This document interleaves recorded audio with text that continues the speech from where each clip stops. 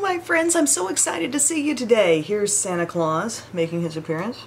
Mmm. I am really excited to be here and just do a get ready with me because anytime I do one of these after the Emily Awards, it always feels like it's been a really long time because that span of videos just, even if it doesn't last much longer than a week, it seems like it took up a lot of time just with all the extra thought, you know, that was not recorded in a video. But anyway, I just wanted to get ready today and sit down and chat. Um, I've got some kind of new sort of fancy things to use in this video, some stuff that came in recently from Sephora, so I thought, hey, I'll use that and um, we'll just have some fun. First things first, I'm going to prime. I've got all my skincare on, and if my skin looks a little extra glowy, the sunscreen I chose today is the um, Glow Screen from Supergoop. And then I found this in my primer drawer. I did a big, like, decluttering session. I, you didn't miss out on much. You know, I just got rid of some really old things. I'll probably do it again fairly soon, but I also, you know, gained some awareness for things I'm almost out of, and I found this POREfessional Hydrate Primer, and I thought, ooh, that feels like it's about gone. It's a good primer. It's probably my favorite version of POREfessional. Um, and so I'm just going to slather that on. That would be a good video, you know, things I'm almost out of it'd be like an empties video, but you'd have enough in there to actually like pull off a look, you know? I got some things like that. I was really proud of going through all three of those Glossier serums. Now I've got my nice fresh new one sitting over there. Okay, there's our primer. Looking smooth, maybe not quite so glowy anymore. And then guys, I saw a new foundation was out and I thought, you know, I'd like to try that. It's the Very Valentino. Look how fancy this bottle is. It's the Light Lasting Perfecting Foundation with SPF 26. I've used this a handful of times already. I'm not over the moon, but I, I don't hate it. It's kind of a middle of the road, I guess, foundation for me. Um, it's very, very thin and liquidy. I don't know if you could see that. When I pumped it out, it was practically running off my finger, okay?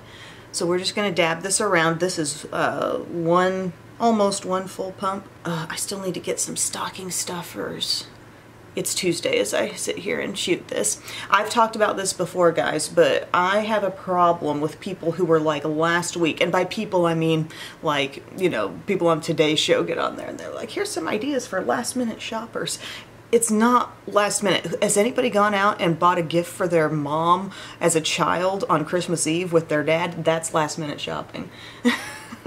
so, I mean, I still have plenty of time, but I just like, uh, need to tie up a few loose ends yet. So here we are bouncing that all in. Like I said, it's really thin. It would have been fine if you wanted to apply this with a brush. It's not one of those super thick foundations where you need the Beauty Blender to break it down. I mean, it is thin, it is runny. Um, the coverage, as you can see, it's, call it actually full. I don't think I would. I call it like a strong medium coverage. And I feel like the finish of it to me it seems like it's really trying to be matte like it would have had an easier time being matte if maybe I didn't have that glow screen underneath or something.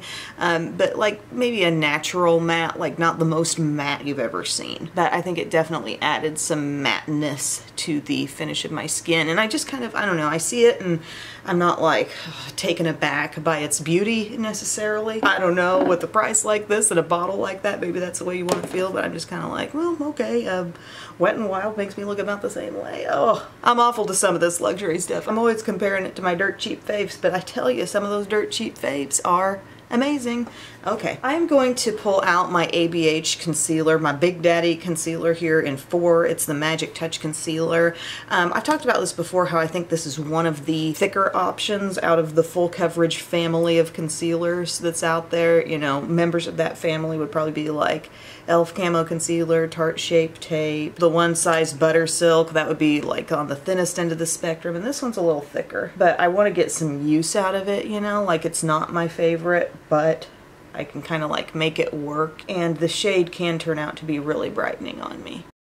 So, those of you who watch Yellowstone are probably aware of the show called 1883 with, um, it's actually got Tim McGraw and Faith Hill in it. We watched the first episode of that last night, like we recorded it. I think it first aired on Sunday. But it's so good like on the edge of my seat like wow it's like back in olden days and people are trying to you know get from point A to point B but there's all these dangers and it's just like a very scary ruthless time to live in they're getting ready to make this big trip from like Texas up to well, I, it's gonna be Montana because this is like the story leading up to the lives of the Dutton family and everything. So we know they're gonna settle in Montana, but right now he's like, I just want to head north and I'll know where I want to stop when I see it. But it was good. I really liked the first episode. Oh, and it's got Sam Elliott, and he's just a badass. If you guys ever took my advice and watched Justified, Sam Elliott was in that toward the latter part as well, and yeah, he was good in that too. Um, okay, so I just bounce this in with the Beauty Blender, which I think helps this uh, particular concealer lighten up a little bit. And then I take this 57 Pro Concealer brush from Sephora and I get into those little caverns and really make sure it's blended out well so we don't have any thickness. For powder, has anybody tried this? This is the By Terry Hyaluronic Hydra Powder Palette. Um, I used to be all about the Hyaluronic Hydra Powder loose powder. It's a good loose powder, um, very light but like does what you want the loose powder to do. And I got this in fair to medium it's like a little palette of powders, like they're just setting powders. I don't know. Um, I'm almost a little confused by this. But I saw it on Nordstrom and I had to get a couple other things for other people and I might have shopped for myself for a moment. And so I'm going to go with this lightest one and we're just going to do a little setting work here and see how it does. Hmm, how does it feel? How, what's the texture? Super duper smooth, of course. Feels great between the fingers. Well, this shade is very brightening indeed. Notice how it didn't take my under eye down a notch at all. Then maybe I go to the shade below it and try that all over the rest of the skin. But basically, hyaluronic hydra powder, the idea with that is that it's a powder that's going to do what powder does, but without like over drying you, without making you look like dry and cakey. I think I may have put on too much on the under eye because I'm looking up close and the combo of too much powder plus the ABH concealer is probably responsible for some of that. That one just doesn't look the best on the under eye. But I'm matte to be continued on this one. This I, I need to do a little more research on it. I need to figure out what the real intentions are here. Then you guys, when I reordered my Glossier serums, I got, well, I got a little eye trio here that I showed on Instagram recently, the monochromes trio. They're getting into palettes, y'all. Little palettes. This is the one called Heather. Very mauvey, really just simplified and pretty. So I've used that and liked it. And then I got this Solar Paint Luminous Bronzer Cream. So I'm going to do that, but I also kind of want to do a little contour also. I'm going to use my EM Cosmetics So Soft stick, and this is in the shade Terra. And this is just a great little contour stick. Nothing blends like these. Did anybody grab a couple of these sticks? They have blush sticks, and then they got a couple of the bronzer contour sticks. Oops, I meant to use a different brush. this is a little brush from Sigma. It's the Extreme Structure Contour. I just kind of wanted to save this for another step that I'm going to do. See how pretty that is? What a perfect contouring shade. You really don't have to press hard. It's really my favorite thing to contour with. So there's our nice little soft contour step, very effective in my opinion. And then we're going to use this Glossier Solar Paint Luminous Bronzer Cream. Um, I got it in the shade Ray. It's got a little doe foot applicator here, and I've used this hardly at all, so I'm kind of like really still experimenting. Putting it in bronzer places. uh, just see. I know it has quite a bit of glow and shimmer. I don't know how long it's been out. Here, if you could cooperate. I'm doing it a little higher than my contour. And it's blending quite easily. It didn't like set immediately on my skin. It's good. I probably could have used like a little bit more here and there, but I just wanted to keep it light because I'm just not super familiar with that product yet. Next, guys, we're going to use my Natasha Denona Glam face palette, which I chose in the shade Dark. Um, I was really intrigued by these, this, you know, multi-purpose palette. You know, I love something like that. I'm a sucker for those. Um, but they had a light and a dark, and I just thought the dark seemed more appealing to me. And when I saw them show pictures of the models, and they kind of showed all skin tones, using either one, I thought, well, sure, I'm going to go with this one. It can give me a richer eye look, a little more range there. Um, I was intrigued by the blush color. So it says cream blush and star glow up under this little window here, which I really like that brands are taking care to cover up creams with the window. Um, this cream does not feel like goopy creamy at all. Um, it barely feels like a ColourPop creaminess. It's a real cross to me between like powder and cream and I wanted to use this brush for it. Again, if you want this brush in, in a version you can buy, just get the um, number 56 brush from Sephora. But a pretty rosy color. I really like it. There's some shimmer in it, but it doesn't show up in a real out there way. Did anybody else try this palette or the light version or what did you think of it? My birthday's coming up on the 27th. I'm excited. I have no big plans, but maybe I'll come up with some little plans. Look at that. I, I, I, really like that, but it's not maybe quite as dark as you would have expected. I mean, I am building up slowly. It could go deeper yet. You could be a little more heavy-handed with it, but I just think that's very flattering. And then the texture of the highlight, to me that really seems like powder. I think it is, they're just letting it sit under that window, partially probably to protect it from any dark fallout from the eyeshadows. So get out your Real Technique setting brush. This is called Star Glow. So get a little bit of that on there. It looks just like a glaze, you know? It's, it's like the shimmer sort of without a lot of powdery filler is what it makes me think of when it hits the skin. I like it.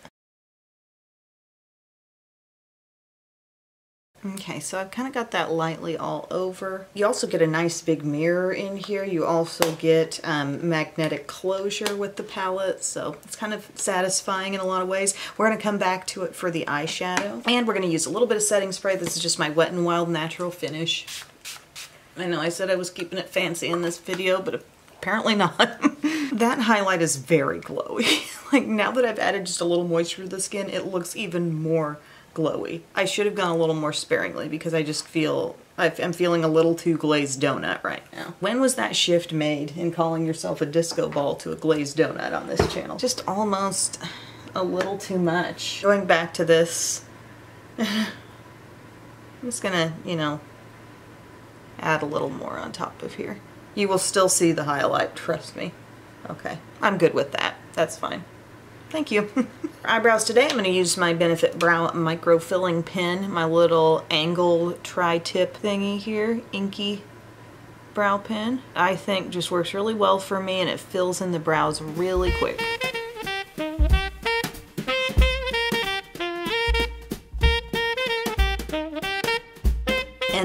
Just going to use my Brow Fast Sculpt to kind of lift them up a little bit and set them in place. You know how we do with this with the brush. I'm using the end that doesn't carry as much product so I can just get them fluffed. Uh, as I was sitting here doing brows, I just going through my mental to-do list right now. Like, I've got so much wrapping left. I'm one who doesn't like to wrap too soon because I really want to like take inventory of everything I have and I want to make sure I have everything I need? Like, did everything come in? Does this kid have as much as this kid? And all that stuff. And it's like, I, I you have to kind of wait till the tail end to do my wrapping. Tail end might come, I don't know, tomorrow. I still have just a couple things that I'm like waiting on. Feeling wonderful about those brows. Feeling amazing about all this.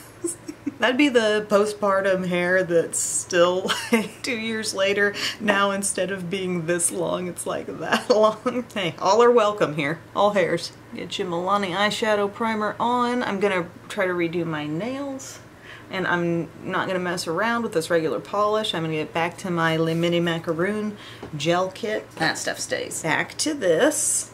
And now we have our lovely eyeshadows here. And you see how they've labeled them? Crease, inner corner, smoke, transition, outer corner. So I'm going to start with a little bit of the transition shade, which is a nice, like, terracotta that's not too orangey. And I'm just going to bring that through my crease. So this is our lightest matte shade in the whole bunch. I think I'm gonna try to like let it really smoke up there, take up some space if you know what I mean. And I wanna know in the comments section, what is your favorite like childhood Christmas special? Um, one that is no longer like aired on TV all the time is Muppet Family Christmas. Like you gotta you gotta find it on YouTube. I'll link to it below. We like watch it on YouTube and stream it on get it on our TV like through Apple TV, you know. But that just is the all-time great for me.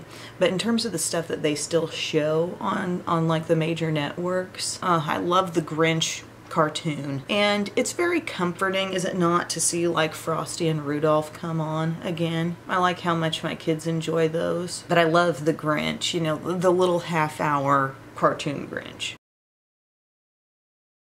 Oh, did I tell you guys mom and I made our Chex Mix?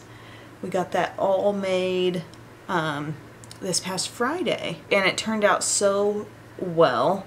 I feel like every time we do it, we sort of have, we, we've gone through different variations. We've done like pumpkin pie Chex Mix or pumpkin spice. Last time we did like a hot cocoa Chex Mix where we literally sprinkled hot cocoa mix over some of the finished trays of stuff. Um, this year we kind of stuck to the traditional version but our accent cereal because there always needs to be something, at least when you're making this at Christmas time in my opinion, that like pops and kind of stands out in your Chex Mix and I found this um, Captain Crunch cereal that's all crunch berries. Uh, I think they call it Oops All Crunch Berries and it's so cute. And it kind of made me think of Christmas lights and just fun, cheery. The Elf on the Shelf cereal is another good one. It's got to be a substantial enough cereal to go in there and mix with everything, kind of hold its own. And the Elf on the Shelf is like little green and red stars, so that's a good one. But the crunch berries turned out great this year. They look so cute in with everything. Okay, so all I've been working with this whole time has been that one shade. I've like buffed it and blended it to nothingness. Now I'm gonna take a little bit of the color called Crease over here. So another matte a real basic brown with this one. Like it's not too warm, not too cool, just brown. I got no problem with brown. And can I say I'm gifting those cozy wraps to like three people on my list this year? The Walmart cozy wrap? Yeah, it, it's, it's going to be one of those things where they're going to be wearing it and somebody's going to ask them about it and be like, yeah, this is from Walmart. It's just like Barefoot Dreams. I swear I use mine like every single day. So I'm really getting that crease shade there in the guess what crease. And then I'm going to take smoke and this is going to be outer corner business. I'm going to grab my flat brush focus. That one does want to have a little fallout, which is something to be aware of. It is your darkest shade. Tap off excess with that. So a really cool dark brown. It almost looks like, in comparison to what's actually coming off pretty warm in my crease right now, that looks so cool it almost looks black, you know? This brown right here. Now, I think I'm going to mix a little of smoke and crease with my small pointed brush and I'm going to really hit that outer outer corner crease area. And see give myself that little like deepened up lift there dab into the two and then we're working like little circular motions up and out from the eye from the crease of the eye. Oh I love that. That just looks so pretty. Then if you want you know you can take a bare brush hit that edge. I'm going to take a little more smoke now and we're going to go to the lower lash line with that. Oops, I forgot to tap off the excess. Oh well, we're trying to stay neat here. Mmm, toasty, lovely. I think this might be one of my favorite Natasha Denona palettes that she's ever done. I really like the blush the highlight in moderation. These eyeshadows are so working for me. And we haven't even brought in the glitz yet. This is strictly all the mattes so far, okay? So then we've got two shimmers here, inner corner and outer corner. When I've used this before, I've just kind of put like this on the center part of the lid and then this further in. So just so I can show you both, I'm going to do it that way again. So I'm going to use the one called Outer Corner, flat brush. And it's kind of a kind of a coppery shade but not copper in a super bright way. It generates a little sheen, but not off the charts, okay? And then we're gonna go to inner corner right here. And this is the really glitzy color, and I might even use my finger with this. Sometimes the finger just makes me, does nothing else other than make me more confident that it's clinging to the skin. Look, that's glitzy. Hmm so so pretty like if you just like a pretty toasty brown eye with some warmth that is not on a real orange level but more just, just toasty. You know what I'm saying? I'm gonna take a bit more of transition with my little wispy white E36 brush because I want that to just shine outside the edge here. Don't want to lose that in my blending. Next, I'm going to go across my top lash line, but with a little pencil here. This is my Maybelline Tattoo Studio. Did any of you guys do any little like advent calendars for your kids to open every day? We got what I think has been the cutest one I've ever seen the kids do. And it's a little Thomas the Train miniature set. So every day you get another link of the train and they're so cute. Like I'm a Thomas the Train novice, like somebody tell me where to begin for Bubba if I want to get some stuff like that. Um, but this, like it has some of the regular, it looks like train characters and then some of them that you open up look like they have presents in them and some of them look like snowflakes and they're really cute and they can link them all up and you know make a whole train out of it. So by now, as you would imagine, we've got quite a few links. Another good one for kids that we've done in the past um, that I think is available year after year, like on Amazon, is the Fisher Price Little People Advent Calendar. And it ends up giving you like all the stuff to make kind of a winter scene. Next up, I'm going to do a little mascara. I'm going to use this NARS Climax, which came in PR, and that, I was recently reminded of the fact that that is a really good mascara for me. It reminds me a lot of Superhero actually in terms of how fast it builds up. Just really good stuff. So I thought I would use that today. And it's interesting all the red accents. There's going to be a red accent on the lip product as well, but like the Valentino foundation and this mascara. This is really a brush that I love, just that really full brush, but yeah, I mean, it's kind of big, but it's not scaring me, and the tapered tip is very helpful. See how pretty, like just real immediate length and thickness?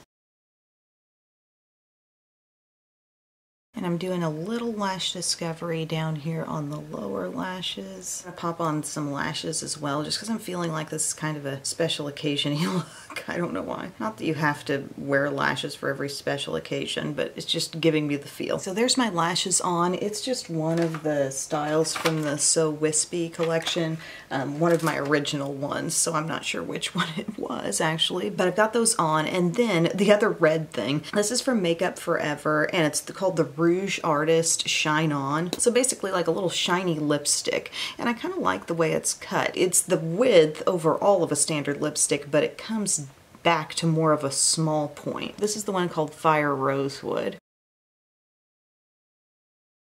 To me, these feel a lot like the L'Oreal Color Riche Shines maybe a little less shiny than that ultimately on the lips, but they're pretty and they feel nice. And with a shade like this, like if I was wearing it out and about, I probably would give it a quick blot. Actually, it kind of defeats the purpose of the whole shine thing, but it would make me feel a little more comfortable. But I do think that's a pretty color. I'm kind of of the mindset where, you know, it, it's not hard to find really good, even shiny finish red in the drugstore if that's what you wanted.